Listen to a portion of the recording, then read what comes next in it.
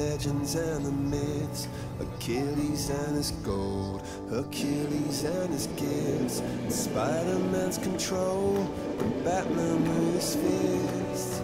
And clearly I don't see myself upon that list. But She said, Where'd you wanna go? How much you wanna risk? I'm not looking for somebody with some superhuman gifts, some superhero,